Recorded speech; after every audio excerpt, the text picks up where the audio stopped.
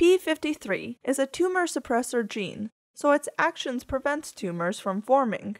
P53 is called to action when there is DNA damage. Its malfunction can lead to cancer through the loss of regulation of the cell cycle. Mutations in P53 underlie 50% of all human tumors, and its reintroduction into tumor cells results in cell cycle arrest or apoptosis. Fortunately, we have two copies of this gene in each cell, one from each of our parents. Mutations are recessive, and, like with other tumor suppressor genes, both alleles need to be corrupted to lose normal P53 function. Normally, it is very unlikely for two such events to happen in the same cell, except for in those who might have inherited one faulty allele at conception. Another exception is the occurrence of a dominant negative mutation, a mutation which prevents the still normal allele from functioning. Since an important part of the carcinogenic mechanism is the accumulation of mutations, it is important for P53 to act soon after genomic damage first occurs. It can't be overstated how important P53 regulation is. Overexpression would mean unnecessary apoptosis, while underexpression can result in cancer.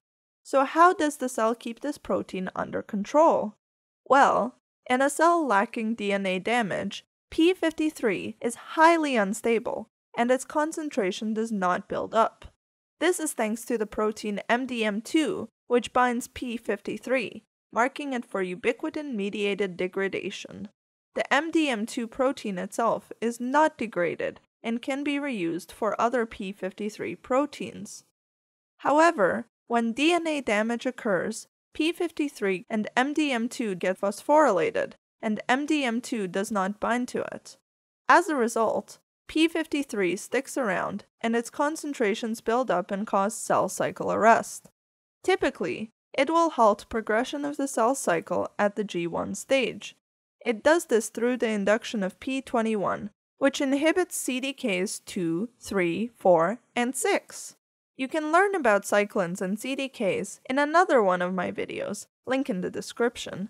But, in short, the cyclin D CDK4 and cyclin D CDK6 compounds phosphorylate RB, which is an important step to get into S phase. P53 also puts the brakes in getting through S phase by decreasing expression of cyclin A. Once the cell cycle is halted, the cell attempts to repair the DNA. However, if DNA damage is too extensive to be repaired, then more drastic measures need to be taken. Hence, P53 triggers either permanent cell cycle arrest or apoptosis. It can do this by directly activating the transcription of genes known to promote apoptosis, as well as by transactivating several components of the apoptotic effector machinery. If you like this video, please like and subscribe, it would help me make more videos and make sure to comment with any topics you'd like me to cover in future videos. Also, it would be really nice if you could support me on Patreon. Thank you.